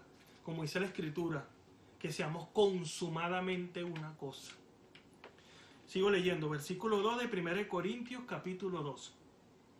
Porque no me propuse saber algo entre vosotros, sino a Jesucristo y a este crucificado. Si estuve yo con vosotros con flaqueza y mucho temor y temblor, y ni mi palabra ni mi predicación fue con palabras persuasivas de humana sabiduría a veces nosotros pensamos que porque explicamos bien algo o porque podamos llegar a explicar bien algo, esa persona va a recibir revelación. Eso es lo que nosotros creemos y estamos bien equivocados. Porque la revelación es intransferible. Usted, su revelación, lo que Dios le ha revelado a usted, usted no me la puede pasar a mí. Yo tengo que tener una experiencia, así como la tuvo Moisés así como la tuvo el mismo apóstol Pablo. Encontrarse cara a cara con Dios y que Dios le hable. Eso fue diferente, o eso es diferente. Cuando usted tiene su propia experiencia y Dios le revela su palabra, su plan, lo que tiene que estar en ejercicio hoy. Por eso cuando dice aquí, no fue con palabras persuasivas de humana sabiduría, no es porque lo explique bien que esa persona va a creer, aunque puede, aunque lo puede ver, sí está en por lo menos un punto, un punto muy importante y que se ha manejado mucho, la, la, simiente de la serpiente, eso está en la, en la escritura y, usted lo puede probar todo lo que dice el profeta y verdaderamente está muy bien explicado. Pero si a esa persona no se le es revelada por el Espíritu de Dios, esa persona no va a creer eso. Así diga que lo cree, va a dudar. Pero cosa diferente cuando Dios se lo revela. Tiene esa experiencia y no hay nadie que lo pueda sacar de ahí porque es Dios quien le ha dado la revelación. Por eso es tan importante la manera como recibir revelación. Hemos estado, hemos estado viendo en el desarrollo del tema cómo es Dios quien da la revelación por el Espíritu Santo. Sigue diciendo, sigue diciendo la palabra aquí, más con demostración del Espíritu y poder el Espíritu Santo demostrando a través de virtud, que es poder. Aquí se colocan los dones del Espíritu. En el poder de Dios. Por eso los dones no están fuera de la palabra. No lo podemos poner el pasado porque ese es el poder de Dios. Eso es lo que Dios utiliza, siempre ha utilizado, los dones.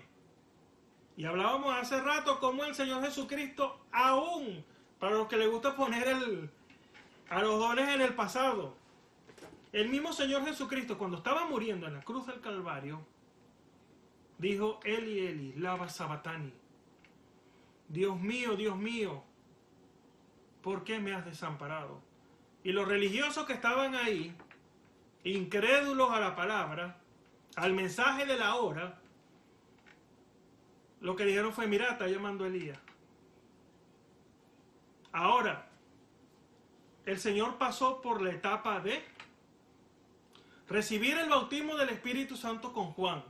Recuerde lo que dice la Escritura, bajó el Espíritu Santo en forma como, como paloma, y se escuchó la voz, este mi hijo amado en el cual tengo contentamiento. Después lo vemos en el monte de la transfiguración, cómo se escuchó la voz nuevamente, anexando algo más. Este mi hijo amado en el cual tengo contentamiento, a él oí. Porque sé que hay muchas personas que dicen, 1 Corintios 13, ¿verdad? Sí, que cuando venga lo que es perfecto, lo que es en parte, será quitado. Pero hermano, si es quitado lo que es en parte, para empezar, ¿cuándo recibimos lo que era en parte? Primer, primera pregunta. Segundo, ¿por qué se manifiesta un don de lengua cuando ya el Señor había recibido lo perfecto? No es quitado, mi hermano. Entienda eso. No es que es quitado, sino que vamos a una etapa mayor.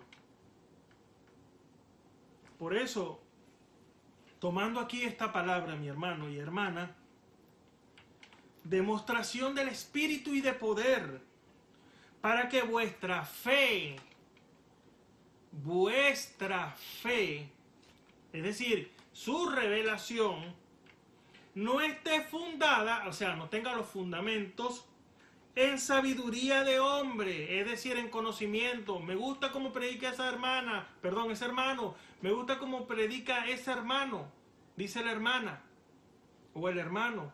No es como lo predique o como lo explique, no. Sino que es Dios quien da la revelación. Y revelación es comprobar, como lo dice Romanos capítulo 12, versículo 2 para que comprobéis, para que experimentéis cuál sea la buena voluntad de Dios, agradable y perfecta. Por eso, para que vuestra fe no esté fundada en sabiduría de hombres, más en poder de Dios. Empero, hablamos sabiduría entre perfectos. Eso quiere decir los que han alcanzado madurez, porque perfección, en este caso es madurez para los que hemos alcanzado madurez. Sabiduría no de este siglo, ni de los príncipes de este siglo que se deshacen. Mas hablamos sabiduría de Dios en misterio, la sabiduría oculta, la cual Dios predestinó antes de los siglos para nuestra gloria. La que ninguno de los príncipes de este siglo conoció, porque si la hubiesen conocido, nunca hubieran crucificado al Señor de gloria. Antes, como está escrito, cosas que ojo no vio, ni oreja oyó, ni ha subido al corazón de hombre, son las que Dios ha preparado para aquellos que le aman. Empero Dios no las reveló, para que usted vea cómo Dios se mueve. Es a través de la revelación, no hay otra vía. Empero Dios no las reveló a nosotros por el Espíritu. Quiere decir que la respuesta al tema, cómo podemos recibir la revelación, está aquí en este versículo 10. Dios nos la reveló a nosotros por el Espíritu. Es a través del Espíritu. Usted puede tener una revelación parcial, pero equivocarse como lo hizo el apóstol Pedro por causa de no haber tenido el Espíritu Santo. Porque el Espíritu todo lo escudriña, aún lo profundo de Dios. Y nosotros les estamos hablando de que los ministerios y los dones tienen que estar en operación en el día de hoy, como dice aquí la palabra, y usted dice, y yo le creo, yo tengo el Espíritu Santo y yo le creo, todo lo escudriña, aún lo profundo de Dios. ¿Usted ha escudriñado que lo que estamos hablando es la verdad? ¿O ha recibido confirmación, revelación y confirmación de parte de Dios que no es así? ¿Que eso está en el pasado? ¿O como decía el profeta, como decían los demás, los milagros son pasados? ¿Eso fue con los apóstoles? No, están presentes hoy, hermano, trayéndonos a claridad. Porque es muy fácil identificar lo que Dios hizo en el pasado. Mire, las grandes cosas, maravillas. Hermano, no necesitamos ir ni, ni siquiera tan lejos. Vamos aquí cerquitica lo que Dios hizo a través del el profeta. Y somos buenos para identificar lo que Dios va a hacer en el futuro. Pero para poder identificar dónde está y qué está haciendo el Espíritu Santo en nuestro medio hoy, ahí no sabemos. Ahí decimos, no, no, sí, eh, seguimos leyendo el mensaje porque, ah, no, por favor. Dios quiere un accionar hoy. Si nosotros, y fíjense algo, si nosotros, el profeta dijo que denominaciones suéltenlo porque de todas maneras van a venir.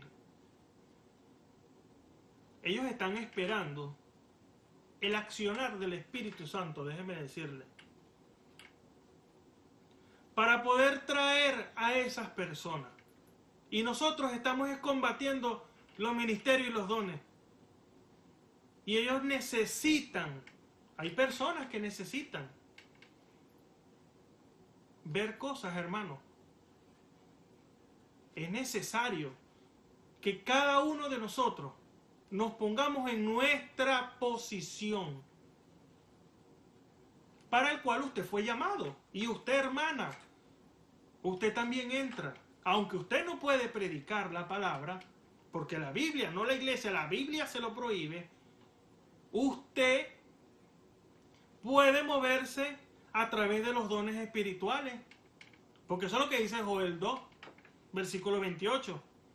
Nuestros jóvenes y vuestras mujeres verán sueños, tendrán sueños, tendrán visiones.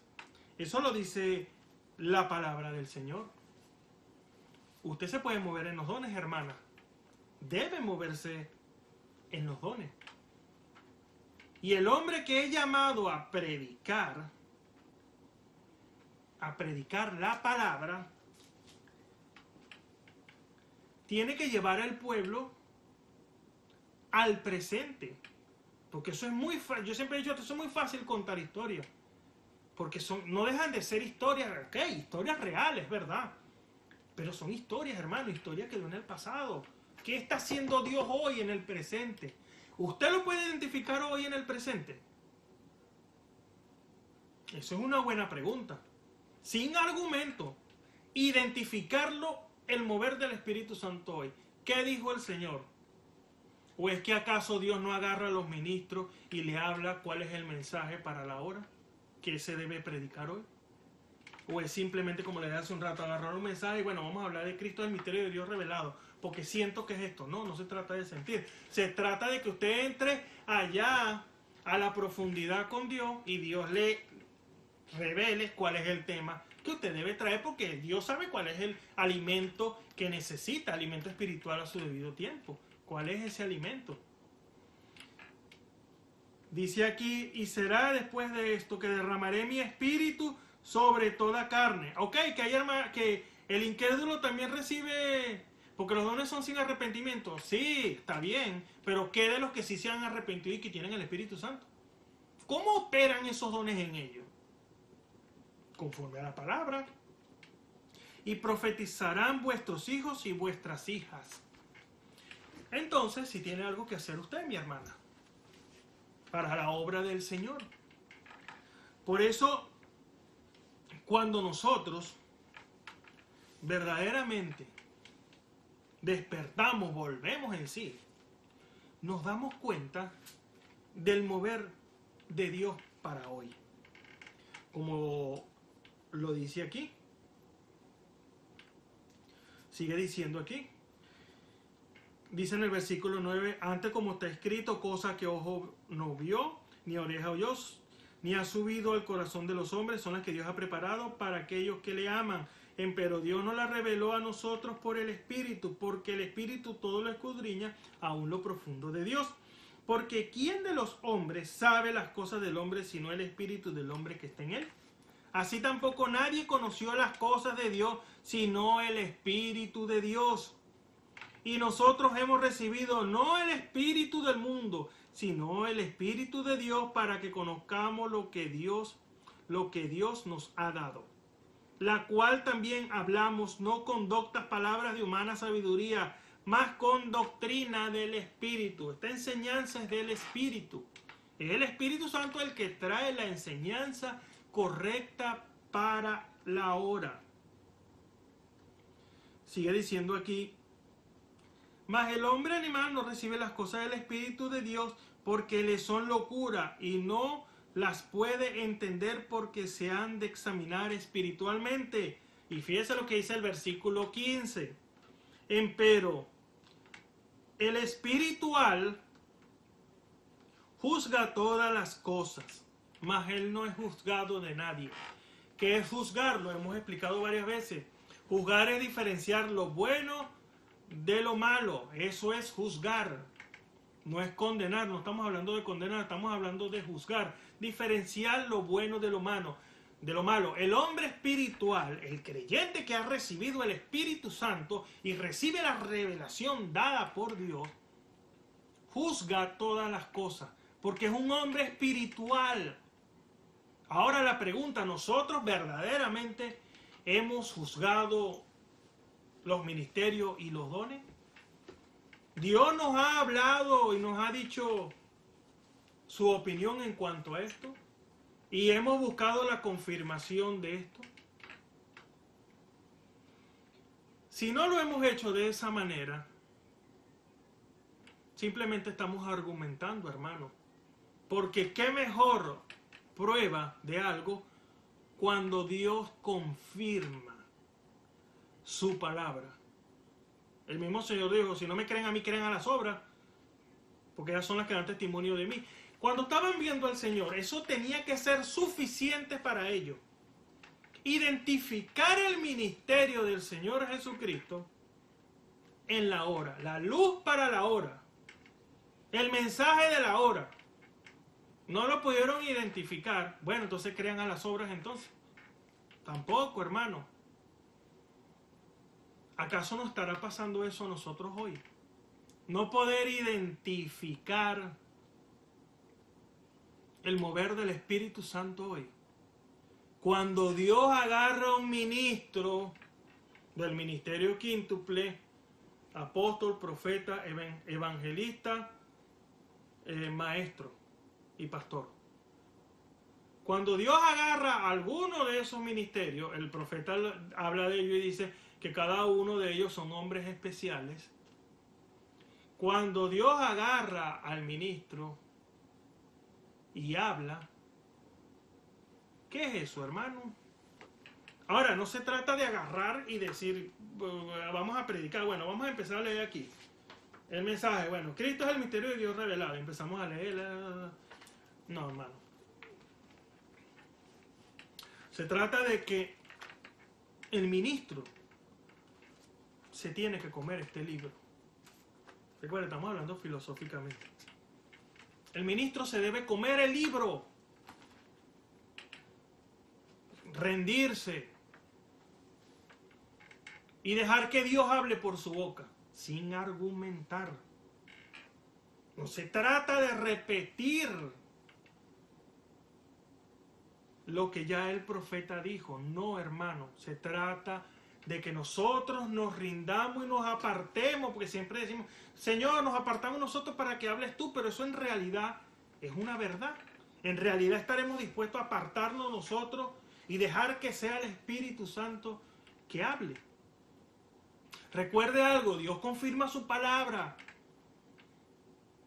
Dice el Señor, yo respaldo mi palabra para ponerla por obra. Si Dios está respaldando los dones del Espíritu, ¿por qué no creerlo?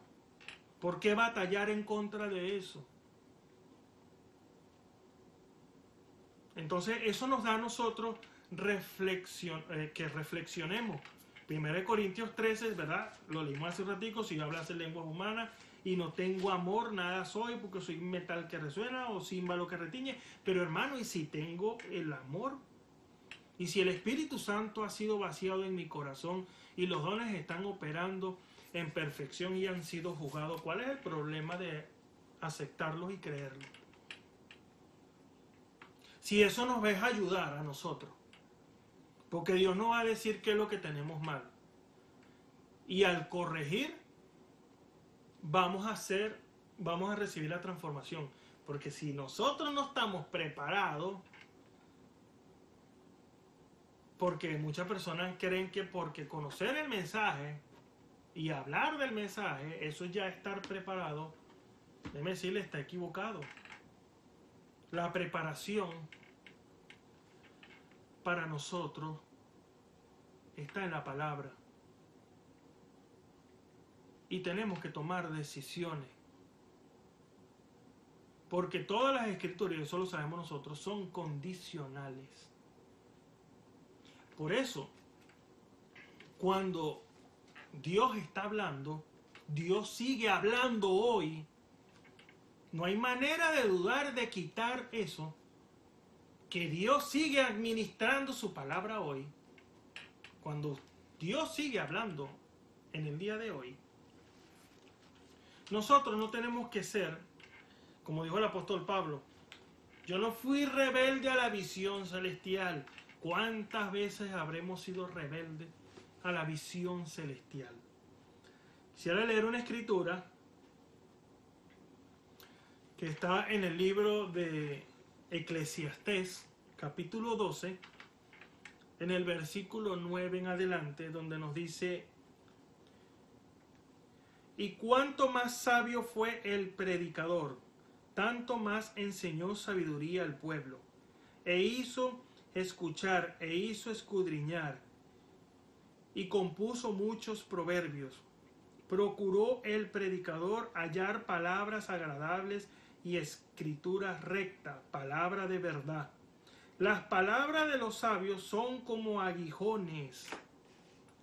Y un aguijón, aquello que la pica una avispa, ¿sabes lo que es eso? Eso, es fuerte, eso, es, hay que ponerle cuidado a eso, que es doloroso muchas veces. Ahora, si las palabras de los sabios son como aguijones, ¿Cuál debe ser nuestra reacción a eso? Sigue diciendo, y como clavos hincados, las de los maestros de las congregaciones, dadas por un pastor. Por eso el pastor debe tener ese don de maestría. Porque nos hace ver a nosotros lo que Dios está haciendo hoy la importancia de eso. Ahora, hijo mío, a más de esto se ha avisado, no hay fin de hacer muchos libros, y el mucho estudio aflicción de la carne es. ¿Por qué dice eso la palabra? Que el mucho estudio es aflicción de la carne. Porque el mucho conocimiento, recuerden, no podemos separar la Biblia del espíritu, porque la Biblia es letra solamente. El espíritu es lo que le da vida a la letra. Por eso digo, las palabras que he hablado son espíritu y son vida.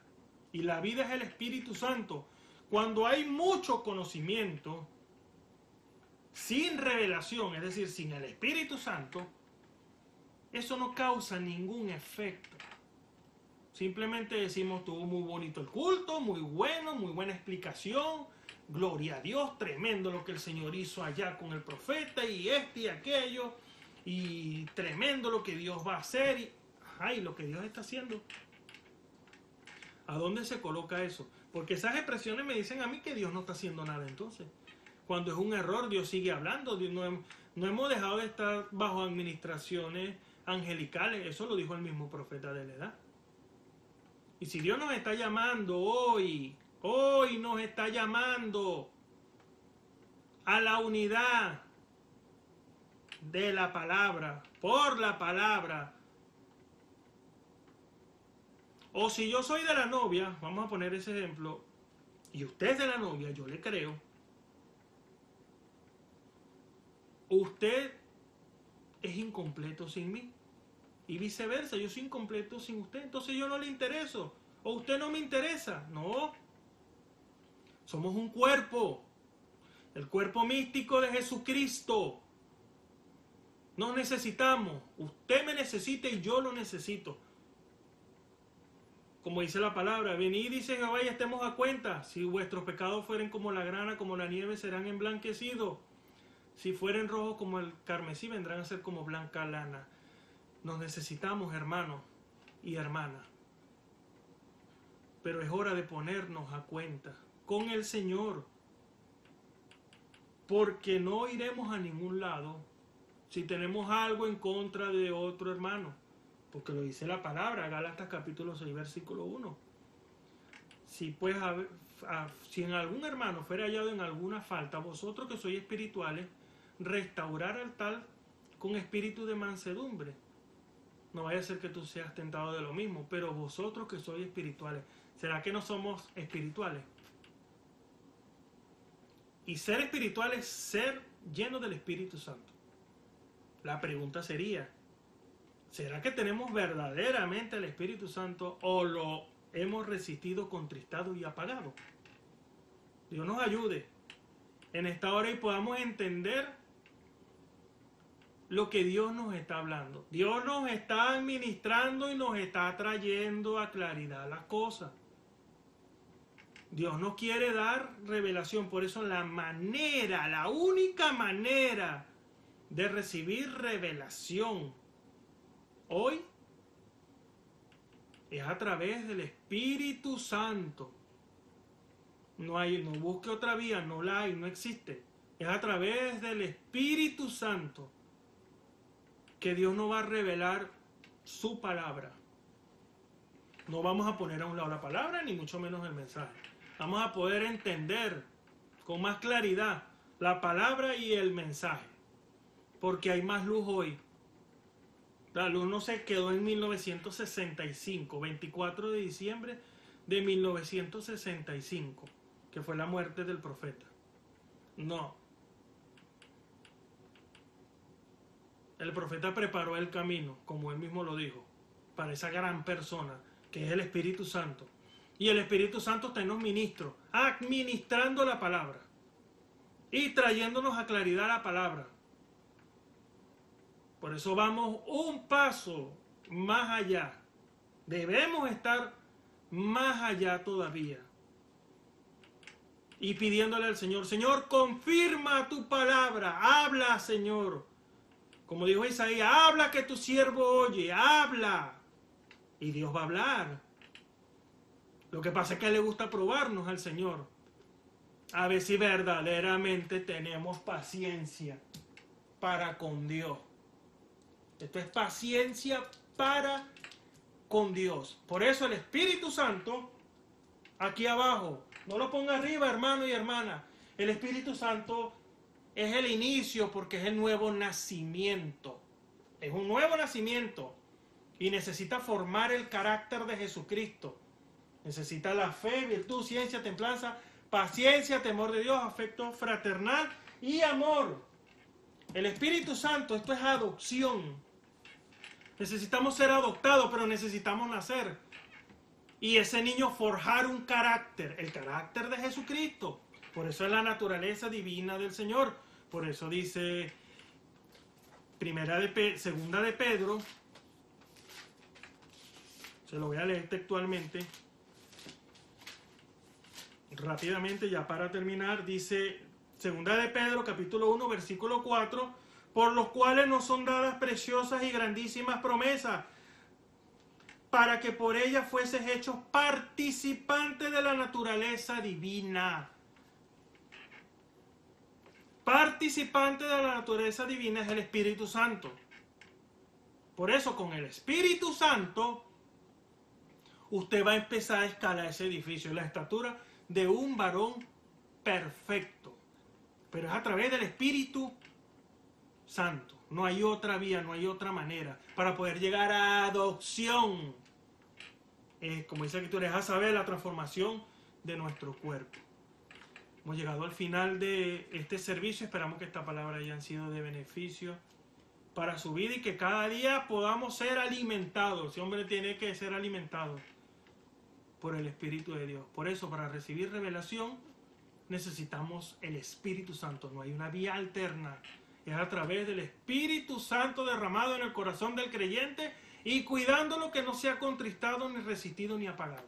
Eso es algo muy importante que usted y yo debemos saber. Oremos. Padre Celestial, en el nombre de nuestro Señor Jesucristo, te damos la gloria, bendito y alabado sea tu santo nombre. Señor, te damos gracias por estas palabras, Padre amado, por administrarnos la palabra, Señor. Te damos las gracias, Señor, y que estas palabras, Señor, queden ancladas, como leímos en esa escritura, como aguijones, como clavo en nuestro corazón, Señor, y que tomemos decisiones firmes en ti. Ese es el deseo tuyo, Señor.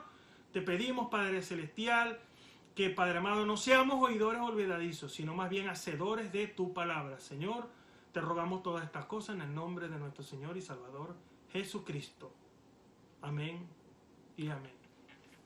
Bien, le hacemos una invitación para mañana, cuando estará otro de nuestros hermanos trayéndonos la palabra, la administración, la revelación dada por el Espíritu Santo a cada ministro que se rinde porque Dios quiere seguir hablando. Dios siempre ha seguido hablando y Dios conseguirá hombre por el cual Él pueda seguir hablando. Que el Señor Jesucristo le bendiga y le guarde. Esperamos que este mensaje haya remontado su fe a las alturas espirituales de la revelación de Dios como el águila, buscar su comida se remonta a las alturas con sus poderosas alas.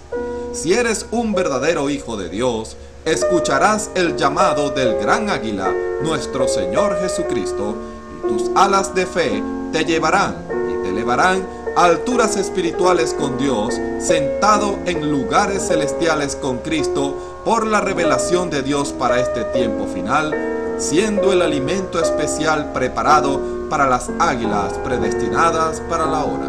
Que el Señor les bendiga.